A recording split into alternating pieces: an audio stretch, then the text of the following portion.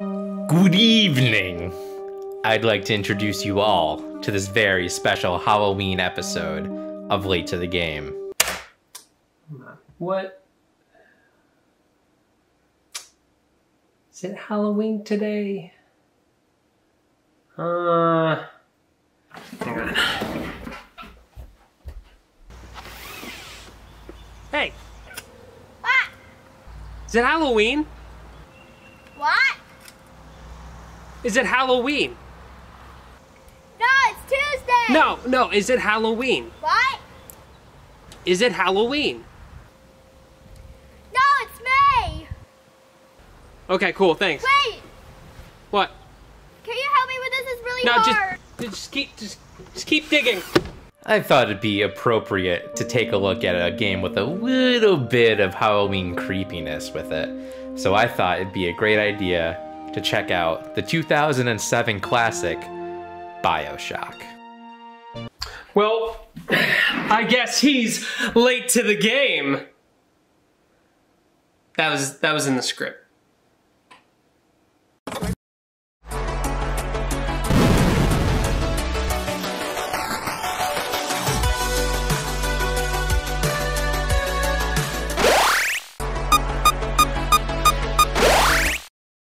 I uh, I just never got around to playing it.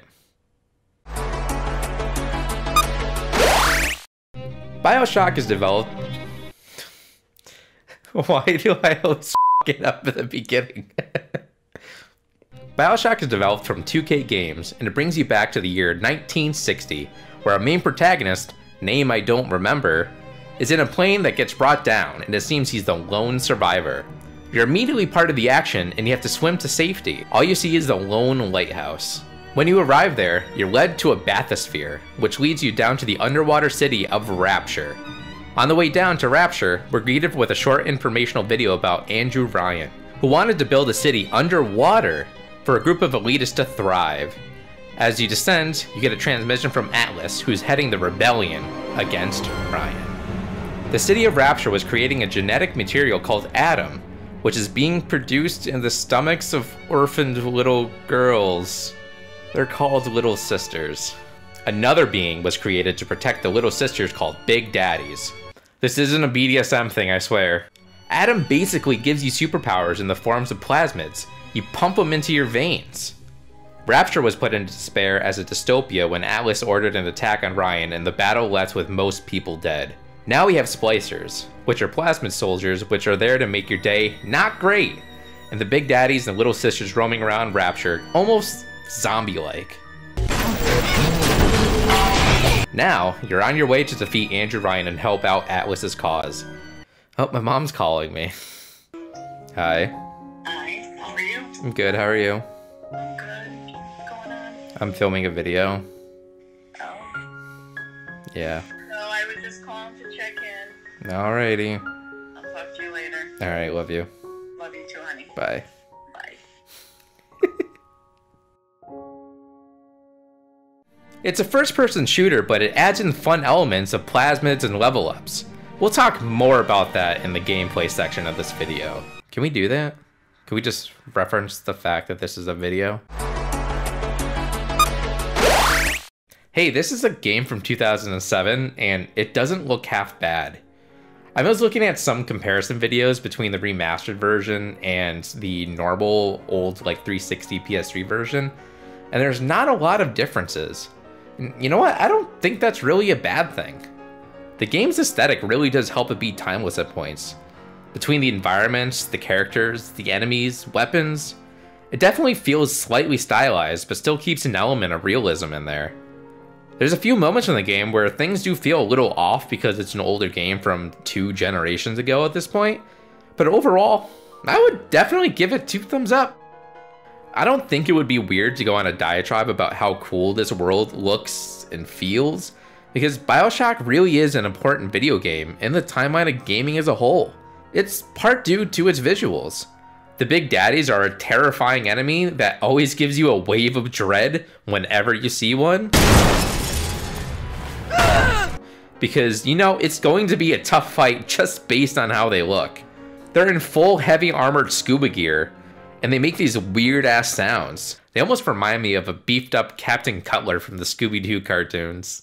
The Little Sisters are the epitome of creepy little girl. The way that they talk to the Big Daddies and call them Mr. Bubbles, terrifying. Cooper, bleep out. We don't say on this show, okay? They just give this dichotomy of innocence, but then harvesting Adam from these dead bodies. I hate it. The world of Rapture is beautiful. It was meant to be a utopia. There's this 40s aesthetic of gold everywhere, kind of like the Great Gatsby. It's to show all the wealth and elitism. And of course, it's all underwater, which you walk through these tubes and see this underwater city, which is all disheveled. The only game that I can kind of compare it to is Fallout. And this predates the first 3D Fallout game by a full year. I think it deserves a really big shout out to the game's art director, Scott Sinclair. This is the part of the game where I think it really stands out. Yes, it does have the typical first person shooter tropes, but there's a lot that makes it different. And the first one is the introduction of plasmids. As we talked about before, the plasmids are created from Adam, which basically gives you superpowers to do different things. You have the power of telekinesis, incineration, electrobolt. You can even hypnotize a Big Daddy to fight off other baddies for you. They're of course used to figure out puzzles and progress, but they also become super useful in combat. Speaking of combat, I think one of the most clever uses in this game is how they map the controller. When you're shooting, you're using the right trigger, and when you're using your plasmids, you're using the left trigger. It's just one of those things that make you feel a little bit more immersed in a game. It makes you feel really powerful, like you're using the gun in one hand and you're using the plasmids in the other hand, as it's represented in the game, and it just really feels good. I didn't even write that. That was all improv, baby. As you get more plasmids and level up throughout the game, you start to feel like a real badass and you feel like a superhero shooting up all these weirdos. Like we talked about before, you need Adam to level up in the game, and of course, that comes from the Little Sisters in the game.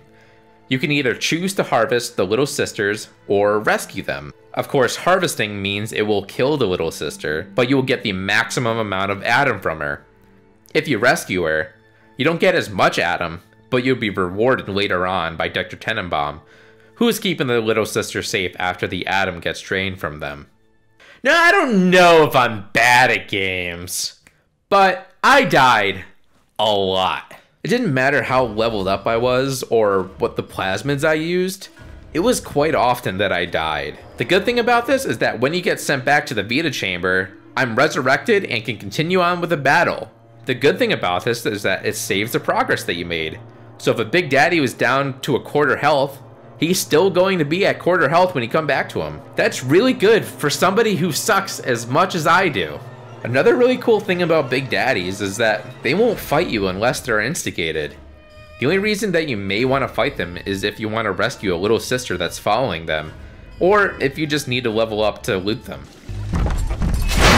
I just think that's pretty neat. I already gushed about the art design and the aesthetic of the game in a previous section, so I'm not going to go too in depth here. But the environment you're in is so freaking cool. You're in an underwater city and you go from place to place in these tubes everywhere and you can see everything underwater. It's really one of the best cool things about this game.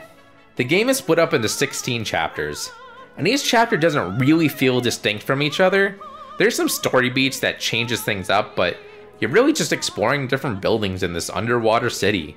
There's medical facilities, farmers markets, theaters. They just look damp and dark and deserted, sometimes flooded. All this really gives a creepy vibe that just feels super dystopian. Because when there's a utopia, you know there's a dystopia right around the corner. There's some pretty neat missions here. The game is linear as heck, so somebody who gets lost in a lot of big games, this one included, there's a lot of times where there's a big arrow showing you where to go or there's just one direction to go in. When you gotta go back for searching for something, it's a little easy to get mixed up, but I don't think it's as bad as some other games I've gotten completely lost in. I think my favorite mission in the game is when you're being a hitman for Sander Cohen, who's an artist. You bring him these people he wants dead and he poses them up on stage as this big art piece. You get rewarded as you go along, and it's fun and memorable. There's another one involving a Big Daddy later in the game that I don't want to spoil. It's really fun, and I think this game is important enough in the history of video games that if you haven't played it, you probably should. I think it's safe to say here that there's two different ways that you're getting story out of this game. The first one is the narrative that you're getting throughout the entirety of the game, and then there's the lore. I'm sure super fans of the game could probably talk about hours about the lore of Rapture and Bioshock, not even get into what's explored in the sequels. And from what I found out from playing the game, I do find super interesting. But it's incredibly rare for me to go into any sort of lore with a world with any type of medium that I'm investing my time into. I think the only deep dive that I've really taken is the Harry Potter series. I'm not even that versed with it, but you know, yeah. I find the world of Rapture fascinating and rich with history, but you don't need to get super into it to enjoy the game or the narrative of the game. I went over it pretty briefly in the beginning of this video. You go into Rapture, you talk with Atlas, and he wants you to kill Andrew Ryan, so you're on a mission to do so. I'm gonna go into some pretty big spoilery things that if you don't want to be spoiled, go to this time code in the video and uh, it'll get to the conclusion of the video. But I'm uh, I'm gonna oh, talk freely about some big plot points of the game. When you get to Andrew Ryan, he basically reveals to you that you're being mind controlled by saying the words "Would you kindly" and any action. Ryan tells you that you're a slave that obeys and he orders you to kill him because a man chooses, a slave obeys. It's a pretty powerful section where he's basically telling you to kill him. Now, who's mind controlling me? Atlas, of course. The dude has been telling you to do stuff from the very beginning of the game. Atlas, who's really Frank Fontaine, says something that basically is a self-destruct button for the protagonist, and he's ready to kill you off. Luckily, Dr. Tenenbaum saves you, and Fontaine can no longer control you. There's this whole section of the game where you have to get parts to make yourself into a Big Daddy, which is the part of the game that I was talking about earlier. And you become one and walk around with a little sister who's harvesting Adam from these splicers. It was a really cool part of the game which was unfortunately the last really cool part of the game because you get to Frank Fontaine and he just kind of injects himself with a bunch of Adam and then he's the final boss. But it only took me like three tries. But like I can't really complain because, uh, like I said before, I'm a very bad at video games, and three tries, that's like a godsend. Bioshock was always a franchise name that always intrigued me, but never enough that I knew it was something I needed to play. When I came up with Late to the Game, I always knew that I should put this pretty early on in the priority because I knew it's something that fans absolutely adore and it's a really big franchise. And as I found out, I understand now why it's so important. Overall, I really did enjoy the game.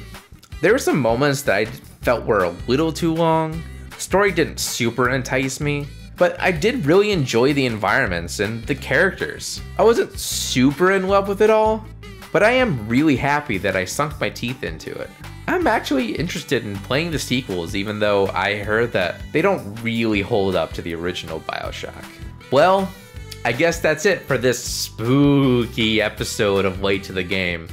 Stay safe, everyone, and have fun trick or treating. All right. Happy Halloween, everyone!